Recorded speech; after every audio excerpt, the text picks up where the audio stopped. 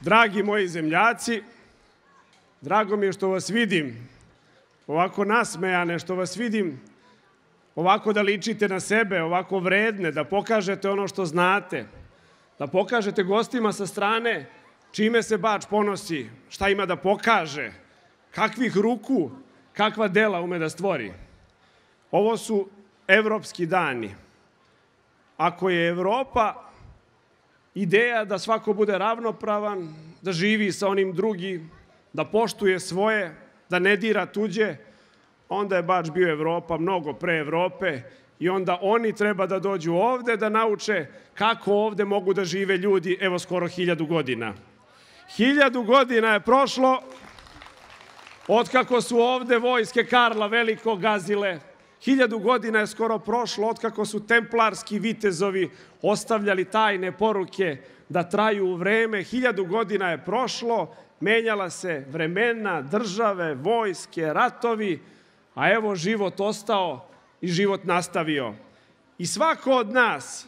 je ovde nekad, nekud, odnekud došao.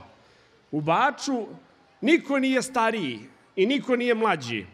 jer svako od nas je jednom od nekud došao, ali došao na svoje. I svako ko se ovde nasmejao i svako ko je ovde zaplakao, može da kaže ovo je moje parče zemlje i ovo je moje parče sveta ne, i nema veze kad si došao, samo nek si došao kao čestit čovek i nemoj nikada nas dele i nemoj nikada nas pitaju ni odakle smo došli, ni kako smo došli, ni kada smo došli, nemoj da nas pitaju kom se Bogu molimo, nemoj da nas pitaju ništa osim jesi li dobar čovek, hoćeš li sa nama da podeliš ovo parče neba i ovo parče zemlje i eto ti bača o kome će pričati Evropa. I dragi moji zemljaci,